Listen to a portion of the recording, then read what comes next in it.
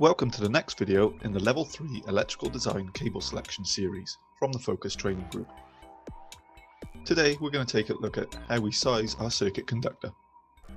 Before we begin, it is recommended that you review the first four videos leading up to this point if you haven't already done so.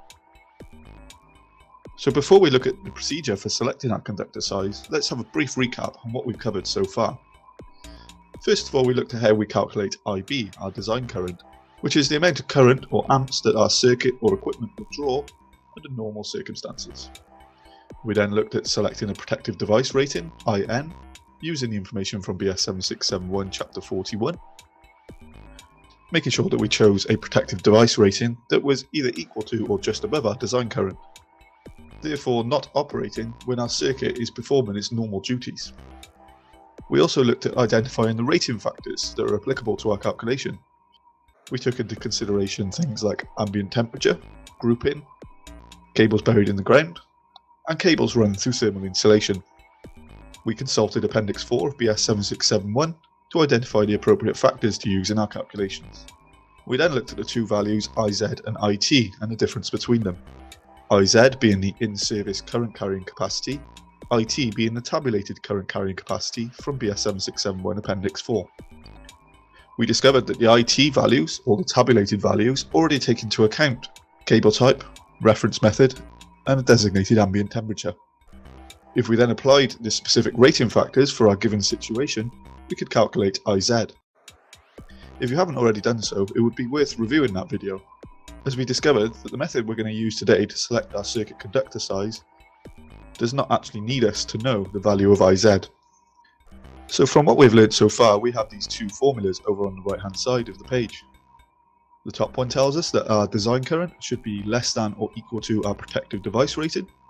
Therefore, our protective device will not operate when our load is carrying out its normal duties. And our IN should be less than or equal to the IT, the value of our tabulated current carrying capacity of our selected cable. Therefore, our circuit conductor will not rise to a dangerous temperature before the protective device operates.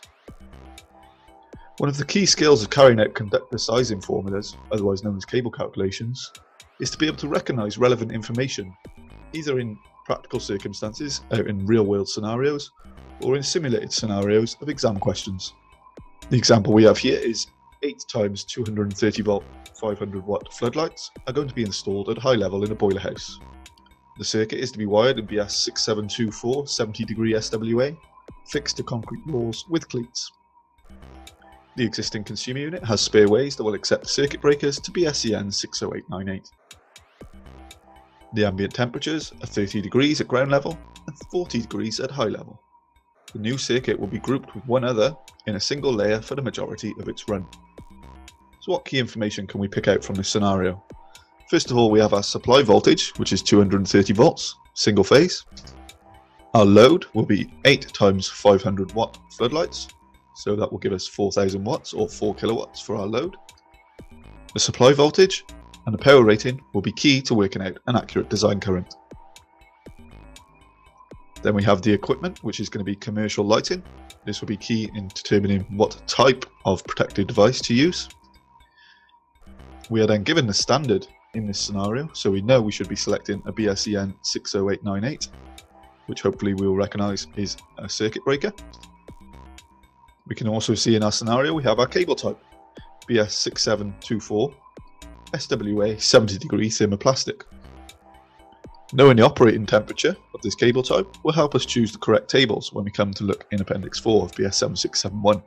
It tells us that our cable will be fixed to concrete walls with cleats, so we need to recognise that this is going to be clip direct or reference method C, again key to using the correct sections of the tables in Appendix 4.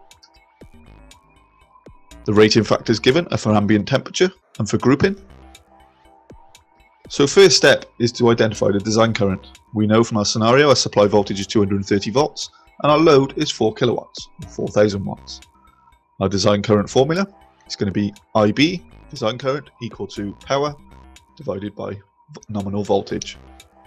So we put in our figures. Remember we have to use the base value, 4000 watts, divided by 230 volts give us a design current of 17.39 amps. Next we have to select an appropriate protective device type and rating. Remembering that the equipment is commercial lighting, the standard is BSEN 60898, and our design current is 17.39 amps. If we look at table 7.2.7 taken from the IET on-site guide, we can see the most appropriate circuit breaker type would be a type C. If we then look at a section from chapter 41 of BS 7671, which gives us the common type of circuit breakers and their ratings, we can see we have the common ratings for type C circuit breakers to BS 60898. Remembering that we need to choose a protective device rating that is either equal to or greater than our design current, we would choose a 20 amp. Therefore, a protected device would be a BS EN 60898 C20. Next, we have to identify the applicable rating factors. First of all, for ambient temperature, in our scenario, we were given two ambient temperatures, one of 30 degrees at ground level and one of 40 degrees at high level. With ambient temperatures, we have to choose a temperature which will have the most extreme effect on our installation. In this case, it would be the higher, which is 40 degrees. To use table 4B1 of BS7671, shown bottom left, we'll have to bear in mind our cable type. We can see from our scenario that it was BS6724 SWA, which was 70 degree thermoplastic. This will help us choose the correct column in table 4B1. So if we look along the top row, we can see we have a column for 70 degree thermoplastic. If we look down to the corresponding row for 40 degrees Celsius ambient temperature, we can see our rating factor to use is 0.87. We were also given grouping in our scenario, where we had two circuits in a single layer. If we look at table 4C1 of BS7671 shown on the bottom right, we have the column for the arrangement, so cables touching, and if we go down to the bottom it says single layer on a wall or floor. So this is the row we're going to use. If we then go along to the column that's got number 2 at the top because we have two circuits, we can see our rating factor to use is 0.85. Now we have all the information required, we can use the formula that will help us choose our circuit conductor size. We have our protective device rating, IN, of 20. We have our CA rating factor of 0.87 and our CG grouping factor of 0.85.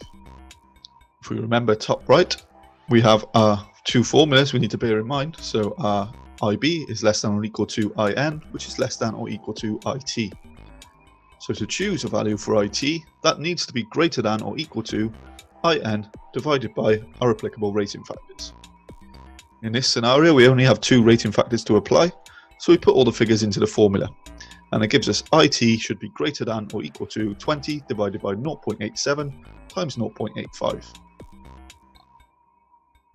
We've then redrawn that formula at the bottom, and we can see we have 20 divided by 0.7395.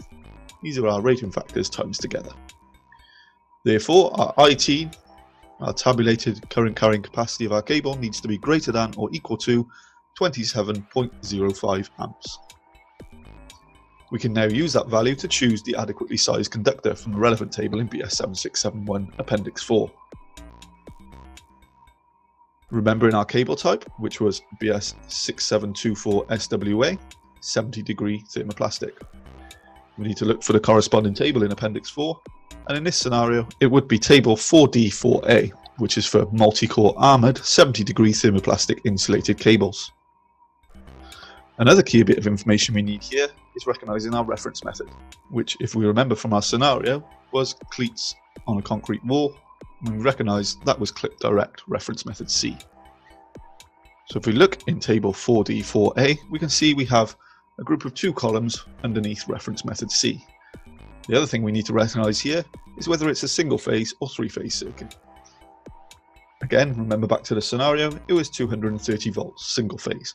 So under reference method C, we should be looking at the table on the left. One two core cable, single phase AC or DC.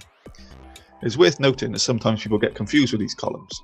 It should be noted that where it states one two core cable, this is relating to the current carrying cores. So even if we're using a three core SWA, one of those cores would be used as our CPC. Therefore, it's only the two cores that we'd be using for our line and neutral. So just because we have three cores in a multi-core cable does not mean we use the column on the right for three or four core cables, because as we can see, this is for three-phase AC.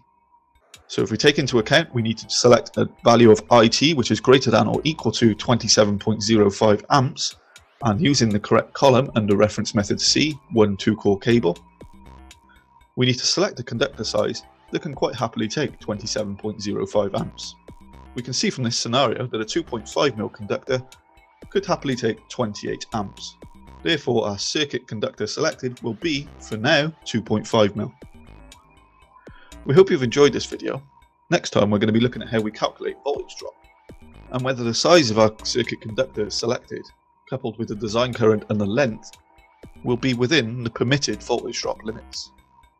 Please subscribe to our channel to keep up with all the latest updates to this design series and other relevant content. See you soon.